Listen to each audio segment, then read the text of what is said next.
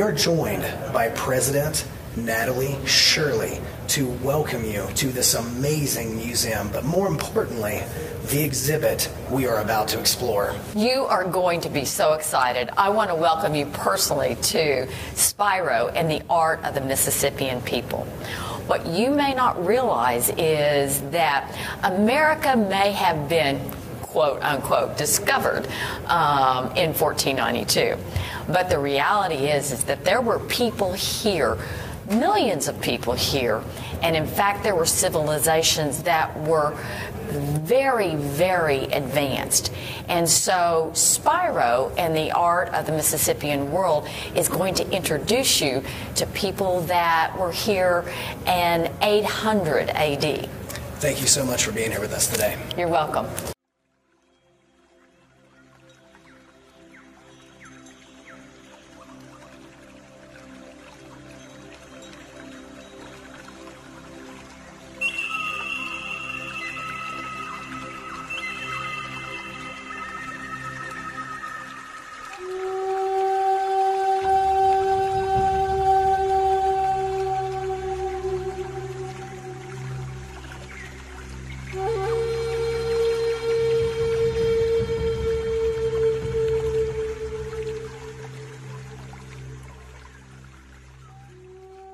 Uh, my name is Eric Singleton. I'm the curator of ethnology at the National Cowboy and Western Heritage Museum.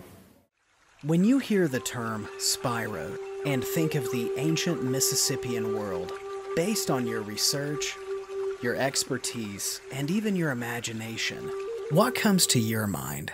Well, when I think about Spiro, growing up in Oklahoma and actually doing research and work on this site, I think of one of the most unique sites ever found in North America. And Spiro truly is the definition of unique in that nothing else like Spiro has ever been found in all of North or Central America.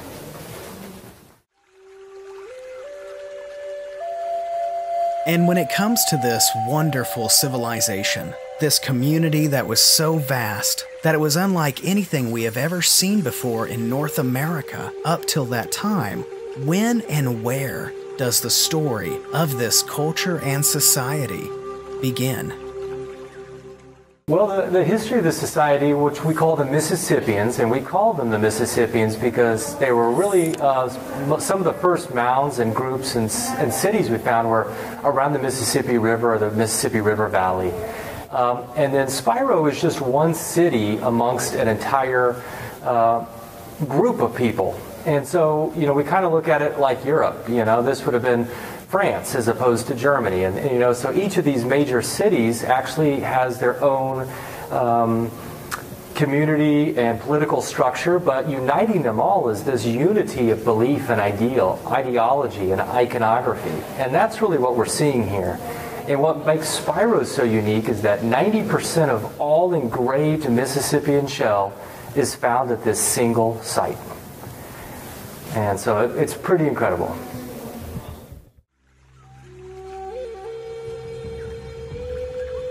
When it comes to studying ancient cultures, peoples, and civilizations, material culture plays a critical role in understanding the people and their world. And so, my question is based on the artifacts that we are going to see here today, what story does it tell us about their world?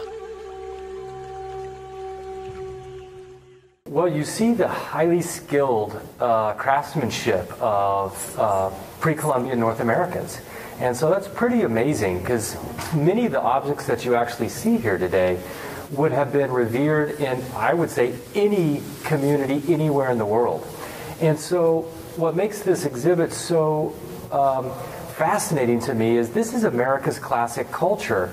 Yet, when you think that the majority of indigenous people are are pigeonholed into a John Wayne narrative, it's really unfair because the vast majority of indigenous people were these amazing craftsmen and amazing people who created large cities that at the time and at their height were larger than London and Paris. And so, uh, you know, another aspect of this is that you're looking at a continent that's virtually um, a paradise.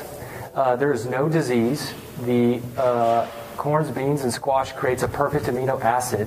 The tomato came from the Americas. The potato. I mean, what's Italian food without the tomato?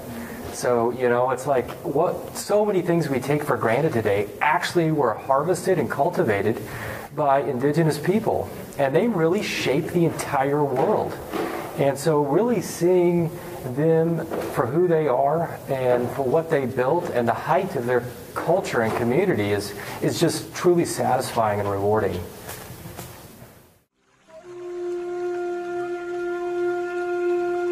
An article by the National Geographic stated that the Spiro were once the single most powerful group to ever exist in North America. Would it be fair to call them an empire?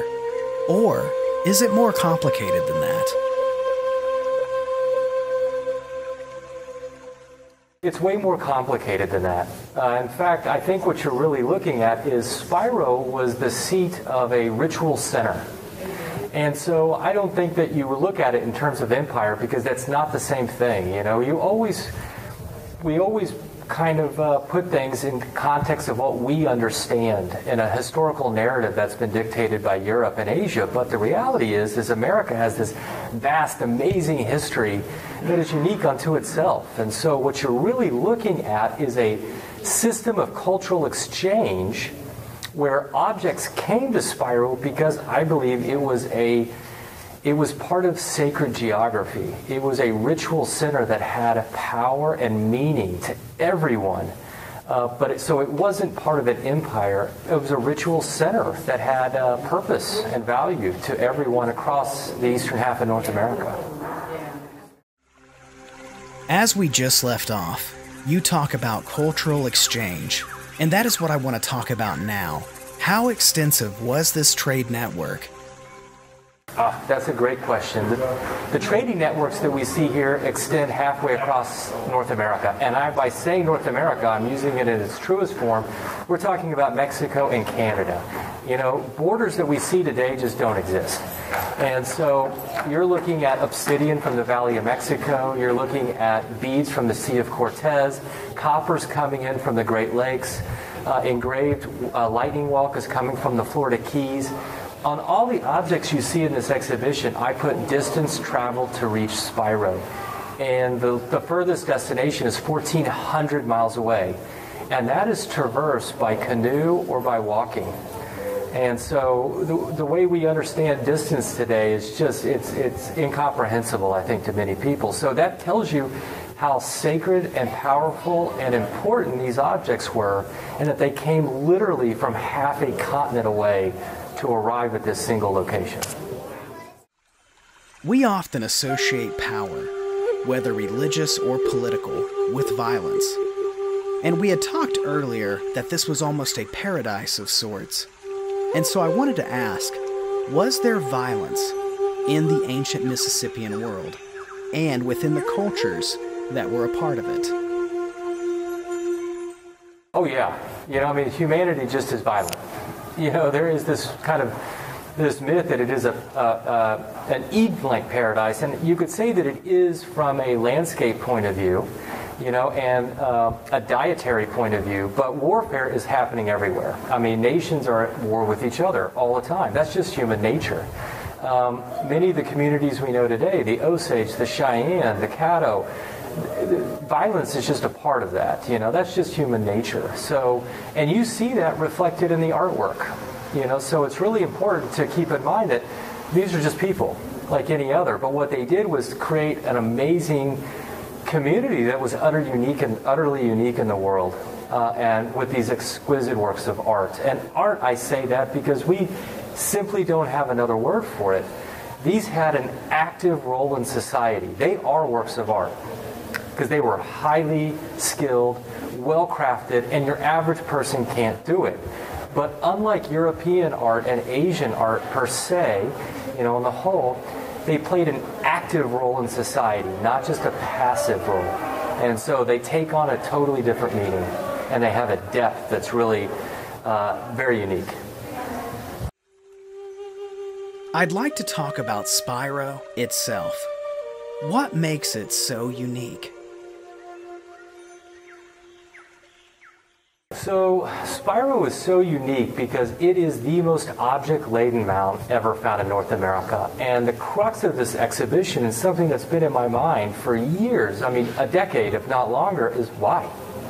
Why was Spiro so unique? I mean, we're not talking about the largest city. And, and you know we're not talking about the biggest population or otherwise. So why why would this occur? And what it uh, started kind of asking, well, we looked at all the different cities across North America and we realized that at 1400 they're all starting to collapse.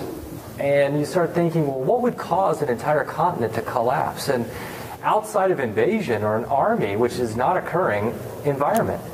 And so you look at the environment. So we started doing soil sampling and we realized that in 1350, a mini ice age began in North America and it lasted until 1650. Now, if you have a large population base, they need a lot of crops to survive. Now, if you're having extended periods of drought, it doesn't work. And so, what you see at Spiro is all of these objects came and they were put into a single hollow chamber. And what we call uh, a spirit lodge, for lack of a better word, and it looks like a Pawnee Earth Lodge.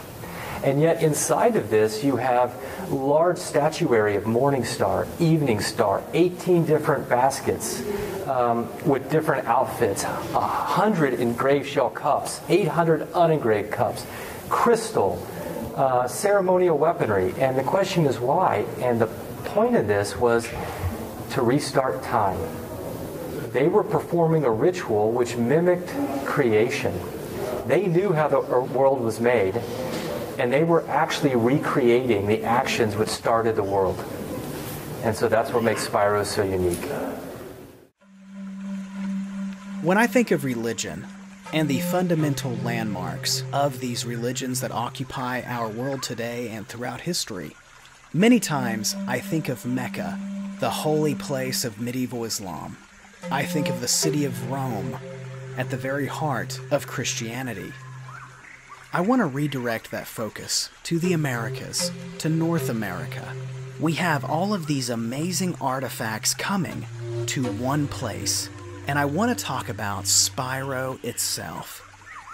This sacred and ritualistic site that became the home of artifacts from across the Americas. Do we know anything about their religion and their religious practices? Yeah, you know, a lot of what we actually understand today comes from oral traditions, uh, working with elders and tribal communities, and uh, looking at the folklore and then comparing that to the ancient cultures. Um, and so, what you're looking at is a um, is a belief in a tri-layered universe with an above, a middle, and a below world. And it appears that everyone in North and Central America, and even South America, believes in this same concept.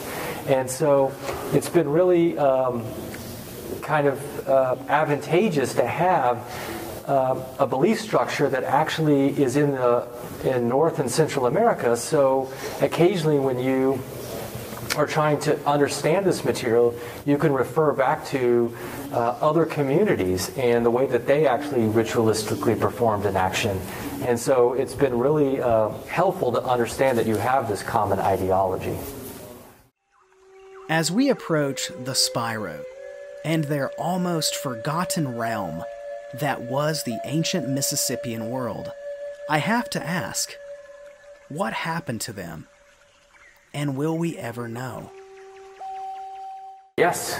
And that's the amazing thing. If you want to know who a Mississippian is, ask the Cherokee, the Chickasaw, the Caddo, the Wichita, all the communities that we know today, and the, the Shawnee, everyone, uh, the Osage, uh, the Potawatomi, they're Mississippians. They never left. And so, you know, we have these conversations between past and present, you know, like pre European, post European. Well, you know, that's just a way for us to kind of isolate time periods. But the truth is, they never left. So the Mississippians, I think, declined based off environment, and they moved out into these uh, village structures. They just they reformed in a different community, a different community structure, but they didn't go anywhere. The Seminole people are Mississippians, the Muskogee and Cherokee. So uh, the Mississippians are still with us today and a, and a, wonderful part of our community. And that's really, I think, the most rewarding part of this exhibition is working with tribal artists and communities from 12 different nations and incorporating contemporary artwork into the space. And so you get to see the ancient material side by side with the contemporary and see cultural continuation in the evolution of not only art forms but people. And so the people who built this, this, uh, these communities are still with us today.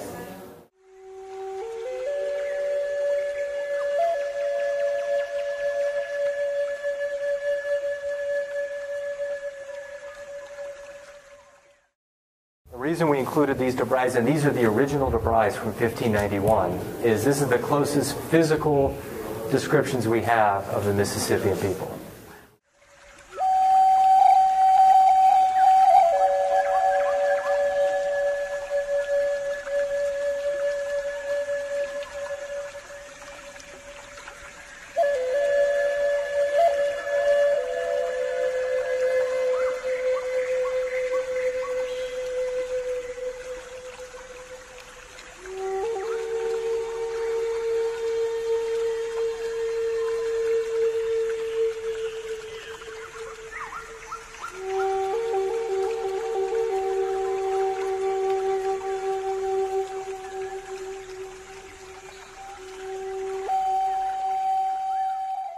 These are long-nosed maskettes, which would have been associated with the headdress, and they would have dropped down to the ears. And you can see there's two holes on either side. Those have to, that's how they would have attached to the headdress and pushed out. And um, it's likely that they represent the hero twins, Thunder and Lightning,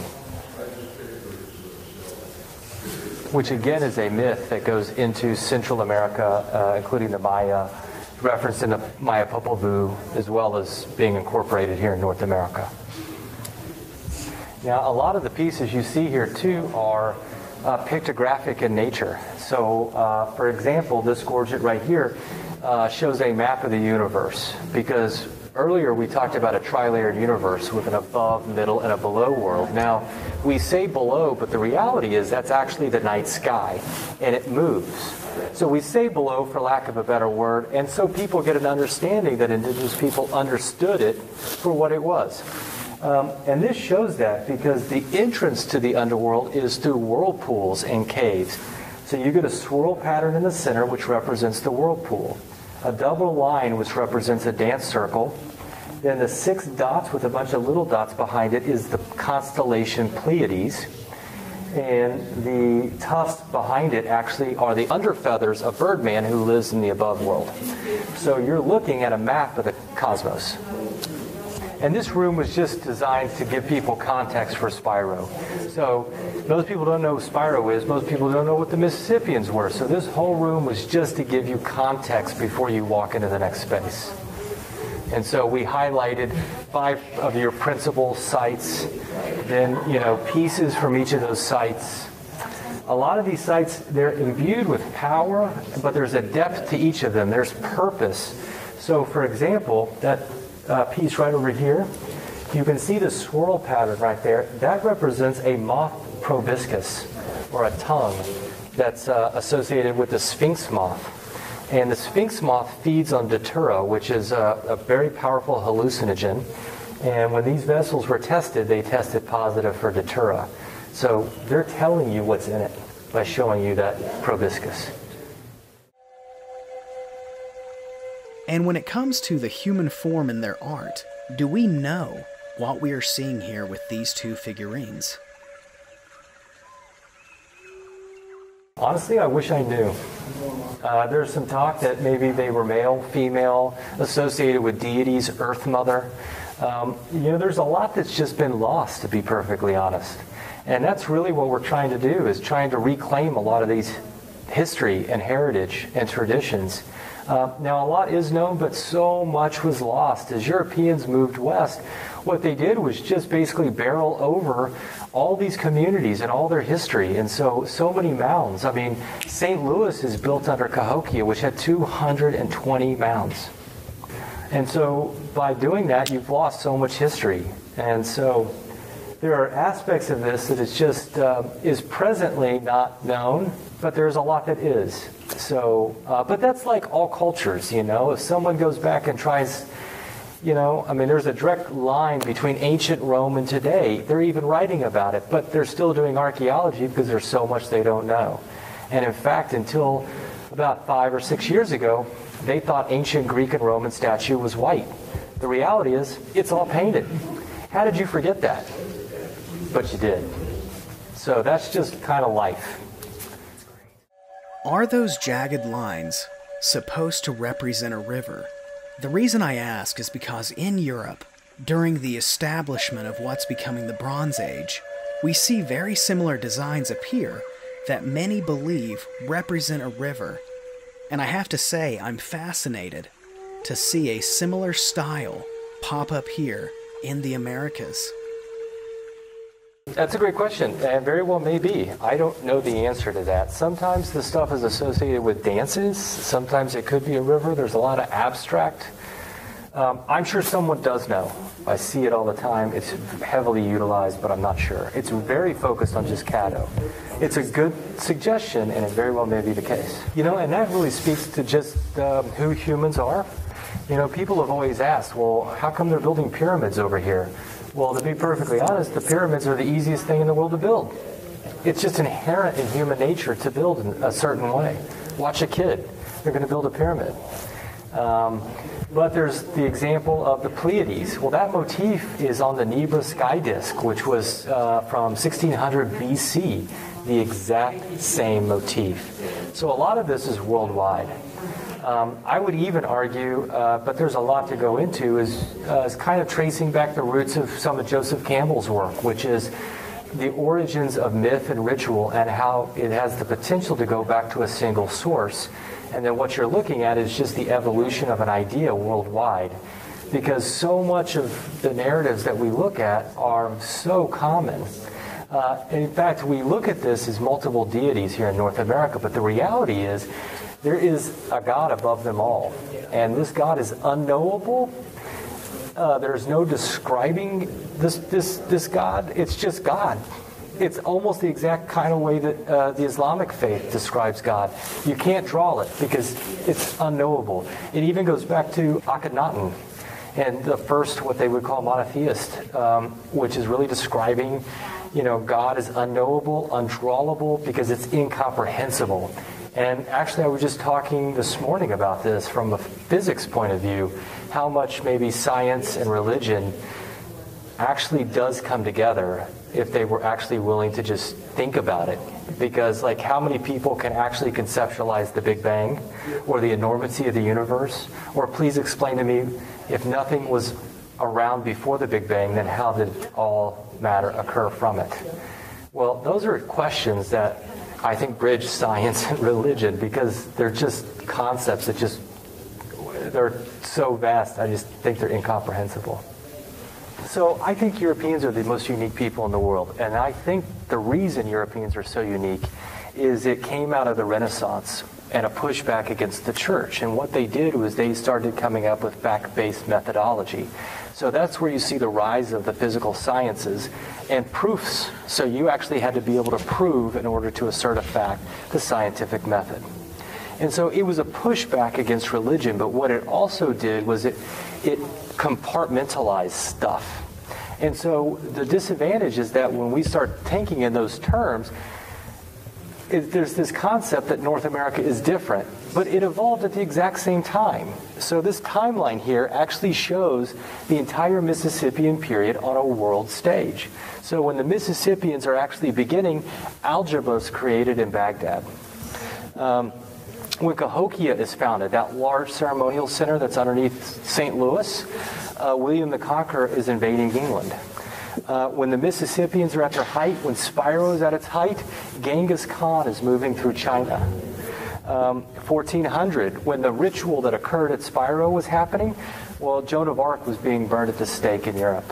And the one that really got me, and I've studied this a long time, was Harvard was founded in 1636, and the last Mississippian kingdom fell in 1650. So, looking at everything on a world stage, I guess it provides it such firmer context. and shows how much diversity is wonderful. You know, I mean, because you're starting to actually look at everyone in, in, relation to each other as we all grow. You know, so it's actually just like looking at a friend down the block, is maybe how you should be looking at the evolution of society. You're all growing at the same time, but you are two different people, but you grow together. And so that's kind of by putting this together on the world stage, I thought it actually um, placed North America and the Americas on, on the proper pedestal that it's deserved. I mean, that's so brilliant because really, when you think about it, it's so typical for people to separate histories and only look yep. at one. When in the reality is, with awesome tools like this, we get to see the entire world evolve at the same time. Yeah. I mean, that's amazing. That is exactly. Amazing. So this is Morning Star, Evening Star. See the necklace he's wearing right there? It's right there in that case. The ear spools he's wearing right there, those are in that first case you walk in. They're not the long nose, but he's the same guy. But there's two shell in the next case over by the film that he's wearing those ear spools in his ears. So everything you see here was really made too. and so this is copper that came from the Great Lakes. I mean, perfectly in size. Um, giant, these are pipes, represent certain deities ear spools. These are the ceremonial weapons you can see made out of stone. And what's really cool about these two is these objects here were made um, or are shown in Mississippian gorgets. So you see the hero twins and mythic characters actually holding these and utilizing them in the mythology, which is the Battle of the Giants, or you know, uh, well, one of the hero twins lost one of their heads. So these are the actual weapons that were used by the gods and so that's pretty incredible. I mean, that's amazing. Yeah. I mean, seriously. And you can see that it's still being done today. So this mace right here is done by Caddo artist Wayne Earls. That's a thousand years old, and that was done last year. So you could see this cultural continuation. So getting back to who are the Mississippians, they're sitting right there. Yeah, the other side. And so what you're looking at here are. Um, additional ceremonial monolithic axes, and so these two represent garfish. You know, maybe alligator, alligator gar, but these are fish. And so, um, again, held in the hand, probably used ritualistically, not in a person, uh, because you know they would have shattered after a couple blows. But uh, but it speaks to the, the craftsmanship. These are made out of stone.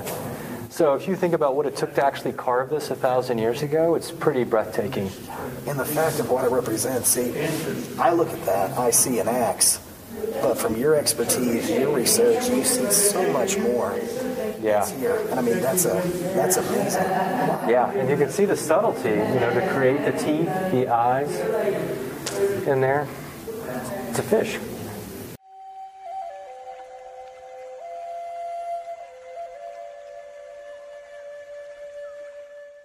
So what you're looking at here is in this show we included contemporary artwork as well as the ancient. And so the hollow chamber that was found at Spiro was in all likelihood lined with textiles.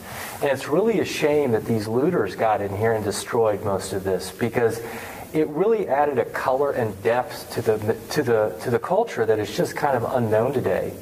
Um, and so, uh, Chickasaw art- artist Margaret Roach Wheeler actually did a fellowship at uh, the National Museum of the American Indian and studied ancient textiles. And then came home and wove this in the fashion of the ancient Spiroan textiles. And this gives you a small idea of what the people actually would have dressed and looked like. Um, and this actually shows supernatural characters on the back of it, fully woven. And what we saw when we looked at these ancient textiles is they did the same thing. So you would have had a giant bird or a bird man or ogee symbols, portal elements, all embedded into the ancient textiles. And so this was a really important piece to have in the show because it really highlights uh, the depth of not only craft but the, the color and and just kind of the enormity of the outfits that were worn by the Mississippians. And I mean, once again, with an emphasis on the spiritual nature of those peoples as well. I mean, oh yeah, it's fantastic. And so yeah, you get a similar design or another design that's woven in based off different uh, textile colors. So, what's important to remember here in North America is that religion and reality are the same thing. You can't separate them. You know, way too often, I think, and well, in certain religious elements, you know, whether it's Christian or other elements, there's you go to church, but then you kind of walk out the door and you start your life. I don't think sometimes people look at everything as deep, you know, I, that's an understatement because I know Christians do, but literally everything, religion, reality, outfits, everything you do is based off the supernatural and, and the metaphysical realm.